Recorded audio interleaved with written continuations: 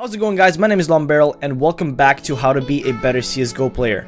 In the last episode we talked about being a better rifler and I promised that in the next video we will be talking about being a smarter rifler.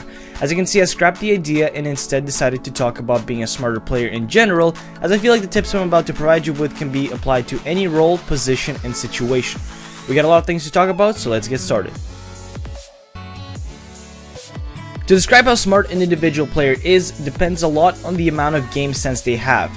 Talking about game sense is really hard as developing your game sense can only come from experience and no matter how many tutorials you watch, you won't get any smarter unless you play, play, and play.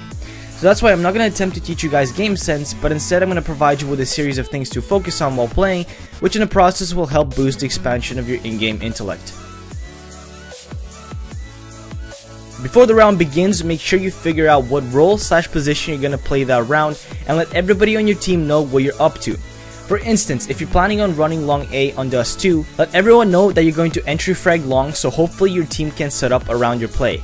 Securing a certain role slash position early in the game will ensure that no possible conflicts between positions can occur as a distribution of roles has been established. Now in the following rounds, it is crucial that you don't change your initial decision of playing a specific role.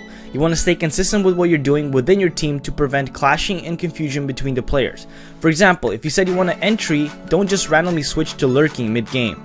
Although it's just a pug, having consistency within the team will allow you to create default positions which aid in the establishment of control and order within the team. Be aware of your teammates' positions slash roles, so in the case of them needing support or a simple pop flash, you'll be ready to react.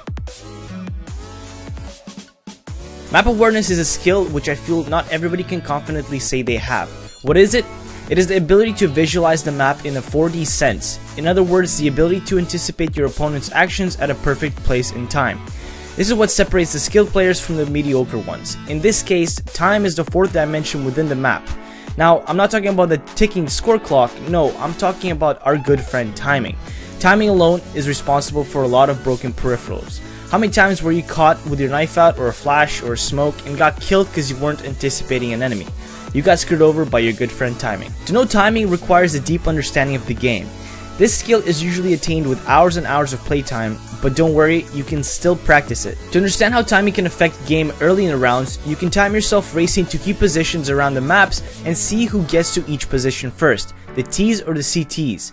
Having this kind of positional knowledge will yield in you being more aware of where the enemy could be and when they could peek. I also recommend learning all of the common spots around the maps so that there's a less chance of you getting caught by surprise. Additionally, to understand mid slash late round timing, you have to constantly stay conscious of everything that's happening around you. As you're playing, always keep a mental thought of the possible positions the enemy players might be. Not only that, maintain the awareness of your teammates and what they're up to. For example, you realize that four of you guys are sitting in a main on Cache with one player lurking in B main. To be aware of your positioning means to recognize the possible move of the enemy and always stay one step ahead of them.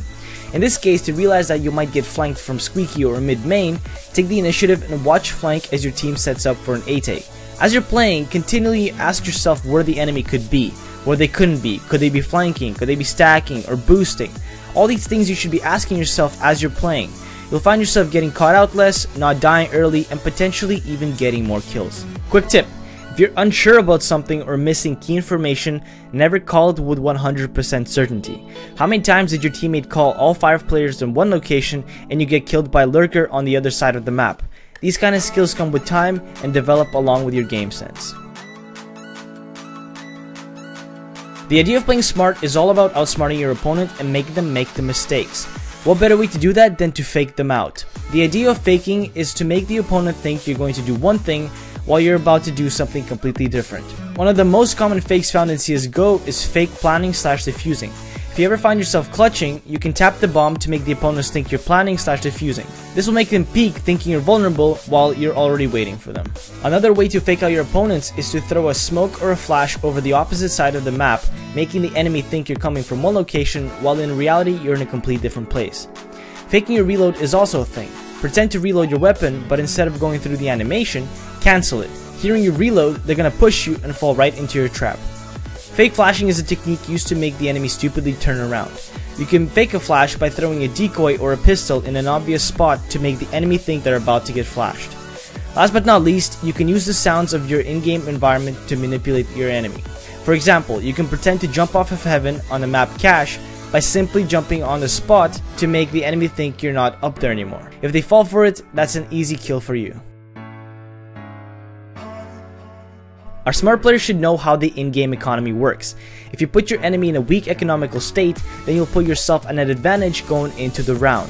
You want to learn how to read your enemy's economy. The best way to start is to understand money distribution. On the screen you see a chart of all possible money situations that can happen in-game. Knowing this can help you keep track of your enemy's situation and with that you'd be able to read them.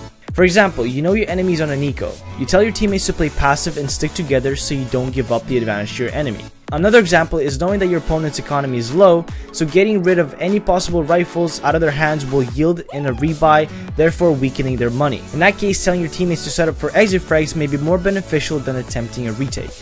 Another way of being smart with money is making decisions that could potentially put you in an economical disadvantage.